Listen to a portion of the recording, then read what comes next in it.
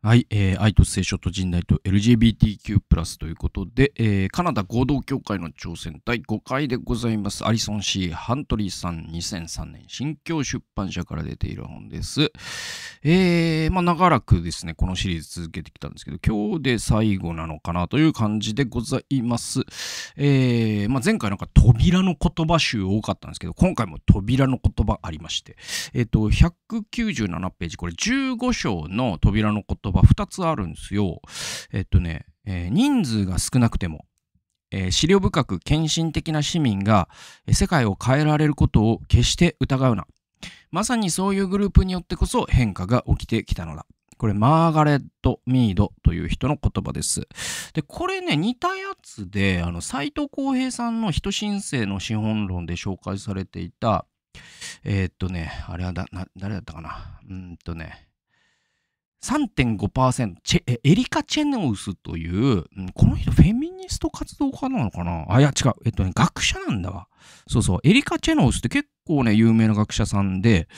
あの、他でも僕引用見たことある。で、エリカ・チェノウスさんの言葉で、あの、3.5%、言葉っていうか、まあ、研究ですよね。実証的なね。メタアナリシス的なね。で、それが、その、これ社会学なんですけど、いわゆる、ね、3.5%の人が真剣にその変化を望むときに社会は変わるんだっていうね。だからこの実感よりも全然少ないんだよね。で、あのー、この辺が多分ね、日本だと3.5%よりというより多くなる可能性がある。それはね、あのね、うんと、山岸さんという社会学者の研究によって、日本ってね、ちょっと、その、やっぱひらめきょろめっていうか、周りがどう思ってるかっていう日和見期間が長いんですよね。相当多くの人が手を挙げて初めて手を挙げれる人たちの集まりだから、それがなかなか難しいんだけど、まあこれはあくまで欧米の話かもしれないが、つまり、その女性の参政権の時もそうだし、公民権運動の時もそうだしね、えー、まあ今のそのなんだろう、グレタ・トゥンベリさんのね、えー、ああいう運動とかもそうかもしれないけど、いわゆるその、本当に社会このままじゃまずいぞって思う人が3.5%に達した時に、その世の中って変わっていくんだよっていうね、そういう、なんか案外少ないじゃないですか。もっと必要かと思っちゃうじゃないですか。まあ、もしかしたら日本だったら13.5%ぐらいになるかもしれないけど、でもやっぱり日本だって変わってきたわけで、で、だから、うん、そういう希望っていうのは、なんつうのかな。だから、うんと、その教会が僕はやっぱりそのね、えっと、性の多様性をね、喜ぶ。そして同性を、同性愛を断罪断罪しない教会になってほしいなと、心から僕は思っているし、だからこそこのように発言しているんだけど、えー、でもね、なんていうかな、そのためにはまだまだ長いな、みたいなさ、例えばその100人いる教会だったらやっぱり50人、いや、今んとこやっぱ、ねえ、どうかな、9割以上は同性愛は罪だと思ってんじゃないですか？みたいな現状があるとしたときに、それを、なんていうかな、5割ぐらいが、5割以上、6割ぐらいが、えっと、同性愛が罪じゃないと思う人に変わらないと、オセロみたいに変わらないって思うかもしれないが、実はそのオセロの角みたいな現象があって、えっと、その3.5%ってところから、実は雪崩式にもしその主張が理にかなっており、ね、実際多くの人の幸せになるんであれば、やっぱりそうやって3.5%から変わっていくっていうのは、なんか僕にとってはすごい希望を与えてくれるね、言葉でもあるのかなと思ってますよ。えー、もう一つの言葉があって、えー、スタン・マッケイっていう人の言葉で、これもいい言葉なんですよね。時として、頭から心までの距離が最も遠いっていうですね。だからこれもさ、ほんと眼蓄あるじゃないですか。だからなんかその、ほんとそうなんだろうなと思いますね。その頭では、なんだろうな。だから、その LGBT の問題論じるときに、やっぱ世代問題ってほんと大きくて、で、やっぱり日本の教会が、なんだろう、あんまり10羽人からげにしてはいけないんだけど、それでもやっぱり福音派の教会なんかだと、非常にそのホモフォビックな教会が多いということの一つの理由は、日本の教会が高齢化がえぐいからなんですよね。えー、これだから、それも理由はちゃんとは説明できるんだけど、その1980年代ぐらいまで、えっと、広辞苑の同性愛という項目には、えっと、異常であり逸脱みたいな言葉が書かれてたそうなんですよね。まあ、今だったら一発で偏見だしアウトだし、ね、その事実に基づかないってことで、もう広辞苑廃刊になるようなレベルですけど、1980年まではそれが本当に社会の認識だったし、その今のような、そのね、医学のね、実証的な知識も少なかったわけだから、それは社会状況がそうだったんでね。えー、でも、その時代に、なんつうのかな、その、大学生だったりとか、社会人だったりとかした人が今の高齢者なわけじゃないですか。で、今ね、その日本のキリスト教って、えっと、クリスチャンの平均年齢が70歳超えてるかもしれないと言われてるんですよ。これすごくないですか？平均年齢ですよ。だから、まあ基本的には、その、ね、その高齢者施設みたいな感じなんですよ。教会のそのコホートっていうか、年齢分布って。いやいや、うちの教会は若いっていう教会もあるんだとしたら、それはおめでたいことで、素晴らしいことで、あなたの教会は日本の希望だと思いますよ。だけど、やっぱりね、多くの教会はそういう感じなんですよ。やっぱ、60代若いね、なんていう世界ね。で、であるとするならば、じゃあその60代の方々ですら80年代には、えっと、学生とかね、社会人1年生とか。で、その時に広辞苑開いたら、えっと、同性愛は逸脱で異常って書いてたわけだから、それがやっぱ彼らの心になっちゃうわけよ。じゃあ頭で今その僕もねそのクイアサイエンス説明したけどいや今の科学でこうこうこうでセグライゼーションってこと分かっててって言われてもその頭から心までの距離が最も遠いってことは起こるんじゃないかなと思うよね。だからだからこそその理解増進法とかで学校でちゃんとこのねあのそういう性別違和を抱える方とかね性指向性自認ねあの、うん、いわゆるこうその皆さんの多くとは違う人がいるとでそれは発達障害のこうしかりねでそれは異常でも何でもなくて病気でもないしそれはそのその人の個性なんだから、えー、絶対いじめちゃダメだしいじめるなんていうのはそのいじめこそが一番恥ずかしいことでっていうのを先生がちゃんと言える社会にしていくっていうのは本当に大切なことだと思いますね。でそうしたらその子たちが大きくなった時に偏見を持たずに済むわけですよね。だからこういうことが本当に大切かなというふうに思います。次行きましょう。えー、244ページでございます。えー、これね、すごい、この箇所本当にこの本で一番良かったかもしれないですけど、長い目で見て、例の問題について、まあ、例の問題っていうのは LGBT の問題ね。で、例の問題について研修をしたり話し合ったりした教会が、最も健全な形でその年月を生き抜いてきたとブライアン・ソープは、えー、ブリティッシュコロンビア教区のスタッフの立場から思っています。問題を取り上げることを拒否した教会よりも話し合った教会の方が健全だと私は確信していると彼は言います。争いと相違に直面した教会が争いを恐れてそれを隠そうとした教会よりもうまくいっているのです。だからね、あのー、まあ、まだ引用は続くんですけど、そのね、いや日本人ってさ、本当に、なんていうかな、表面的な仲の良さを大切にするじゃないですか。ね。だから、それは日本の教会も同じで、その、この問題を話したら、仲悪くなっちゃうじゃないかっていう形で、話さないってことを選ぶハンドリングが絶対に多いはずなんですよ。多くなるはずなんですよ。で、えっと、これは根拠なしに言ってるんじゃなくて、僕は実際に自分の体験から、あの、なんていうのかな。あんま具体的な話はできないけど、わかるんですよ。で、えっと、で、それって、なんなんつうのかな、まあ、悪い言葉で言うと、事なかれ主義ってことになるなるだろうし、日和見主義ってことにもなるかもしれないし、その、なんつうのかな、だから、仲良くしましょうねっていう、えっと、なんつうのかな、その、それって特に、それを特にリーダーが言い始めた場合、それってさ、なんつうのかな、えっと、すごい耳心地はいいし、日本人はそういうの大好きですよ。仲良くしましょうね。みんな仲良く。和をもって尊しとなしと。えー、だから、こういうセンシティブな話題は、言わないようにしましょうね。聞かないようにしましょうね。話さないようにしましょうねっていうね。お茶を濁しましょうねっていうね。でもさ、それって僕、全然同意できないんですよ。だってさ、そうやって先送った結果、その抑圧や差別や偏見っていうのが温存されるわけだから、だから少数者の人はちょっと我慢し続けてくれ、くださいねって言ってるのと僕同じだと思うんですよ。ね。で、僕はそれは勇気がない立場だと思うし、なんつうの、無責任だとすら思っちゃうかな。うんうんうん。だからなんかすごい、その支配者側の怠慢だと思いますよね。うん。で、そのこれが地雷だから触らないっていうのは、先送りするっていうのは、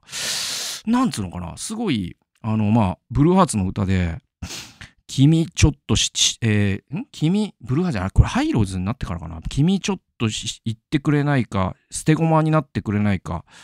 いざこざに巻き込まれて死んでくれないかっていう歌があるんですよ。ね？で、えっとね、っていう歌詞があるんですよ。で、まさに、なんていうのかな、ちょっとその全体の輪をさ、尊ぶためには、ちょっと我慢しといてくれって言ってる間に、性的少数者の人を自殺するかもしれないじゃないですか。で、その責任取るつもりないですよね、多分ね。だから、すごいなんか、その問題の先送りという欺瞞に対して僕は一番腹立ってるんで。で、でえっ、と、そういう上で、で、カナダにも、カナダ合同協会にもいろんな協会があって、で、えっと、先送りにした協会もあれば、真正面からぶつかって分裂なんかも経験しながらそれでもこうやっていった教会もあってでこのカナダの教会っていうのはまあ我々の先輩なわけ我々の30年後の姿なわけじゃないですか。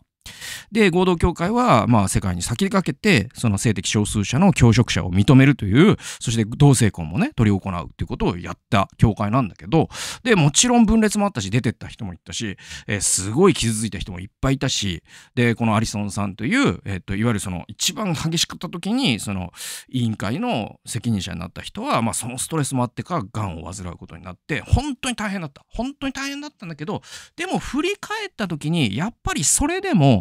長期的には問題から逃げた教会よりも問題を取り上げた教会の方がうまくいってるって言うんですよ。だからなんかこれってある種のこう手術みたいなもので、まあなんかちょっと横断とか出てきたけど怖いから、あ今の生活続けようって言った人が肝臓がんで死ぬ みたいな話で でもちょっと痛いけど開胸手術をしてその幹部を取り出してってことをやったらさすがにその後も辛かったけどでも10年後には生きてるのはそっちじゃないですか。教会も僕はそういうとこある気がするんだよね。うんうんえー、で、続き読みましょうか、えー、どちらの立場を取るにしても、一つだけの考えが強制された教会よりもずっと良い状態なのですと。だから、その先送りした教会の中には、もう否定しかありえないっていう形でハンドリングした教会もあるし、え、ー、と、肯定しかありえないっていう、ね、つまり議論を避けるってことですよね。だから、話さないっていうのと、えっ、と、要は A と B という議論があるとすると、A 以外ダメだよ。B 以外ダメだよ。そして話さないっていう、この3つが議論の先、ねえーえー、と問題から逃げてることなんですよ。じゃあ逃げないことは何かというと、どちらも強制せず、オープンにディスカッションしましょうっていう、このこれを避けては僕は通れないんじゃないかなと。で、これを避けなかった教会こそが長期的にはうまくいってるって言ってるんですよ。これは先輩からのある種こう我々への予言みたいなもんだと思いますよ。予言っていうのかななんかすごいとても我々が耳を傾けるべき現実だと思いますよ。続き読みましょう。一方的にある考えを強制された教会は多くの会員を失い、今でも痛みが残っています。例えば、ソープが1980年代後半から1990年代初期まで、えー、牧会した教会は、問題について研修したカナダ合同教会の20%の教会に含まれており、88年の秋には総会決議について学ぶために何度も集会を持ちました。教会は話し合うことを求め、その結果、会員を一人も失わず、88年の秋、新街道の起工式の時からたくさんの新しい家族が出席し始めました。教会と人生の変化は困難であり、痛みを伴いますが、そうしたことを受け止めるために続けられた対話が鍵でした。自分の意見をまとめたり、それを表現したりする余裕が与えられたとき、また一つの立場だけが強制されなかったとき、教会は大きな被害を受けずに生き抜くことができました。ある人は少しずつ自分の考えを変えました。しかし教会は考えを変えられない人たちも含め、すべての意見が尊重され、歓迎される故郷でした。だからこの多様性をこそ我々本当に目指すべきなんじゃないかなというふうに思います。だから僕はそのね、擁護派なんで反対派に特にそのコンバージョンセラピーに対しては今後も厳しく批判していきますけど、えー、だけど僕がもっとそれよりももっともっと許せないと思うのはそのメタ的ななんていうのこの意見以外ありえないとするメタ的な排他性にこそ僕は一番怒ってるんでそこだけは全く共有するつもりはないです。だからそのコンバージョンセラピーですら厳しく批判はしつつそういう立場にはぜひああなたの確信なんで大切なものとして保ってくださいねと言いますがだけど私だけが正しいというね、えー、このメタ、このメタ意見、メタ排他性みたいなやつに対しては、えー、あなたは間違ってるよと、はっきり言います。はい。って感じかな。えー、次行きましょう。えー、210から211ページでございます。えー、これがね、その女性教職者とのね、類似点っていうのがあるんですよ。えー、この経験は初めて女性が暗種例を受けた60年前と多くの共通点があることにブリティッシュコロンビア教区委員会はレポートの最後で触れています。女性が初めて暗種例を受けた時、牧師として女性を望む教会はほとんどありませんでした。現在も女性と男性と対等に受け入れない教会がたくさんあり、今でも女性は女性であるために受けるストレスと困難を経験しています。その理由で牧師を辞める女性もいますと書いてあります。しかし、教会と社会における女性の立場が変化するにつれ、女性牧師は受け入れられるようになってきています。委員会はゲイとレズビアンについても同じことが起こることを願っています。レポートは次のような言葉で結ばれています。女性教師の場合と同様、教会がキリストの体なる教会全体を豊かにするために、ゲイとレズビアンだからこそもたらしうる賜物を感謝できるようになることを願ってやみませんと。だからまあ、僕はごめんなさい、これも立場はっきりしとくと、その女性教職者を認めない教団があるのは存じていますが、僕はそれは聖書的ではないと思います。はい。僕はね。僕はね。そう、全員がそう思うべきだとは思わないけど。はい。なんつうのかな。そのパウロが女性が教会で黙っとけっていうやつをいまだにそれを金貨玉状として言ってるっていうのは教科、えー、聖書の方向性を間違っていると、まあ、リチャード・ボーカムの言葉を借りて言うならば思うからです。はい、だから女性を教職者から排除することは福音的ではないと僕は思うかな。うんうん、何でも言うけどこれが絶対だと言ってるわけではなくてね。うん、で、えっと、このカナダ合同協会の宣言はその今じゃあえー、ちょっと、えー、なんだろう。そう日本ではその議論が二回りぐらい遅れてるところもあるからあれだけどその女女性を認めるっていうのが今初めてびっくりしたみたいな人には何と言えばいいか僕わかんないんだけどごめんなさいね。だけどまあ皆さんがもうちょっと僕に近い立場だという想定で言うとするならあの牧師に女性がいるっていうのは教会のプへの神からのプレゼントじゃないですか。僕本当にそう思いますよ。本当にそう思います。僕、女性の牧師先生何人も知っているし、そしてまたその柳沢みどりさんという僕のね、その先輩の FVI のカタリストもね、えー、いるし、湯本さんもそうだけど、やっぱりなんかね、その、女性ってすごいんだよ。うん。で、あのー、なんだろう、その優劣とかじゃなくて、あのー、ていうのかな。世界から女性教職者が消えたなら、教会はすごく悪くなると思う。なんつうのかな、その料理から塩が消えたら料理はまずくなるのと一緒。うん、で、やっぱりその女性牧師だからこそ話せる語り口があるし、視点があるし、聖書の読み方がある。で、それから得てる教会がね、そっから学んでるプレゼントってとんでもなく大きいものがあると思うんですよ。で僕はゲイやレズビアンね、LGBTQ も同じだと思います。LGBTQ ならではの視点っていうのが絶対にあって、で、藤本先生なんかは、まあやっぱりそれが、その、